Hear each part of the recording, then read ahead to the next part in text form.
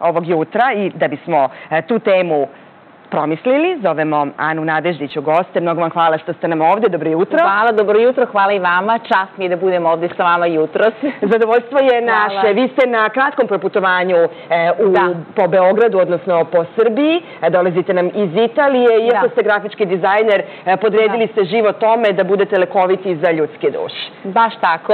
to je baš tako, jeste. I ako se držimo ovog pitanja koje smo kao temu naveli, kako da odagnamo imamo e, tu misao da e, sve najgore biva samo nama, jesmo li u pravu kad to pomislimo? Pa znate šta, jesmo u pravu zato što ako mi tu u to verujemo, ako ljudi u to veruju, onda sigurno su u pravu. Međutim, to je početna tačka. Znači, ta misao kakve emocije proizvodi? Sigurno ne proizvodi dobre emocije, ljudi se loše osjećaju, e, ljudi nisu zadovoljni. Znači, to je početna tačka. prihvaćam da u stvari nešto e, u meni ne ide. Osjećam se teško, osjećam se loše. U stvari misao, šta, zašto se baš meni to sve dešava? Mhm ta misao proizvodi bespomoć. Znači ja sam bespomoćna, e, u stvari zavisim od nekih spoljašnjih situacija da budem srećna ili nesrećna. Mi imamo ovdje jedan termin kojim vrlo često baratamo, a to je naučena bespomoćnost. To da nam je najlakše da smo paralisani, e, da podignemo ruke i kažemo dalje ne može. Možemo li dalje kad nam se učini da je to kraj? Moramo.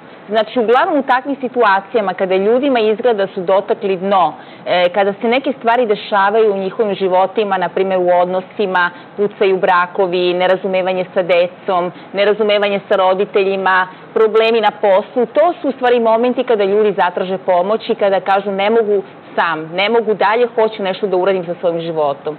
E, ima sve više informacija, živimo u vremenu stvarno gde imamo dostup informacijama kako da sebe izlečimo iznutra. Znači to je početna tačka, treba prihvatiti da ništa to nije strašno, ništa nije negativno, svi smo mi prošli kroz osjećam se bespomoćno, kako ću sada, sve, mi se ruši u životu, ali to je tačka kada stvarno postoji potencijal za ponovno rođenje. Mhm.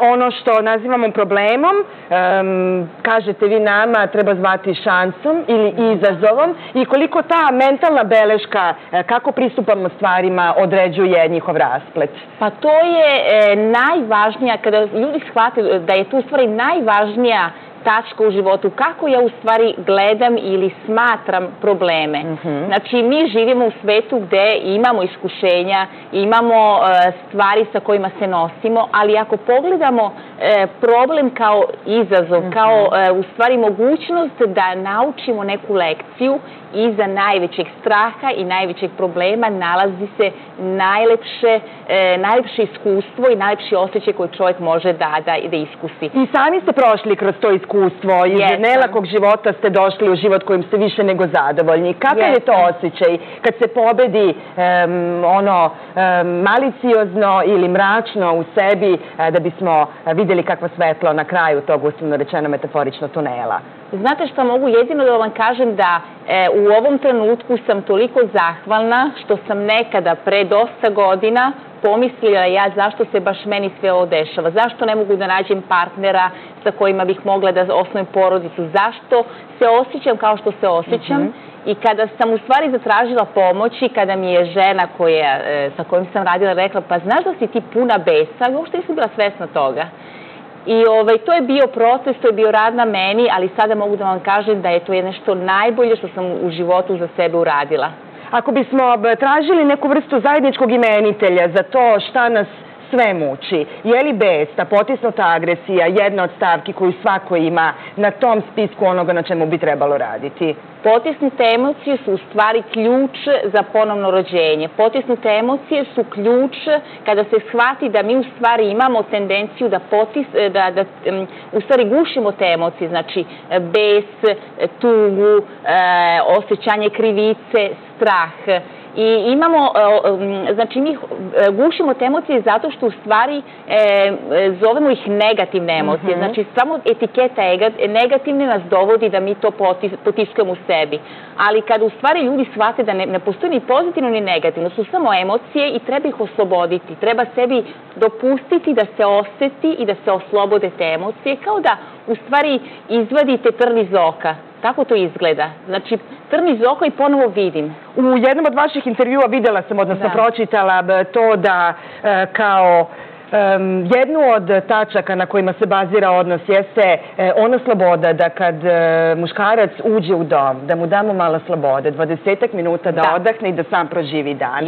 Šta bi još mogli da budu ti tako akutni savjeti e, za učrćenje veze koja je pred krahom ili na, netemeljnim nogama?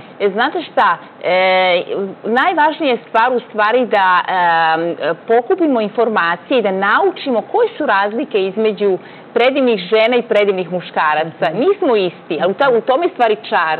Znači da naučimo e, u čemu su, u stvari kako muškarci funkcionišu. Znači naš mozak i njihov mozak funkcioniše potpuno na drugačije. To su Venera. Jeste, baš tačno. I to je, to je stvarno ovaj, velika istina. Mhm. Znači muškarci ne mogu, e, mi smo žene navikle da radimo deset stvari u, jednom istom trenutku. Oni ako, njih, ako nešto radi, mi njih pitamo, e, postavimo pitanje, oni potpuno odu ovaj, e, potpuno, ne, mogu u stvari se nositi sa tim. Mhm. Znači, muškarac mora da uradi jednu stvar, da završi i onda tek da ga pitamo za nešto, da nam pomogne za nešto drugo. Tako da je to jedna druga stvar koju možemo da naučimo.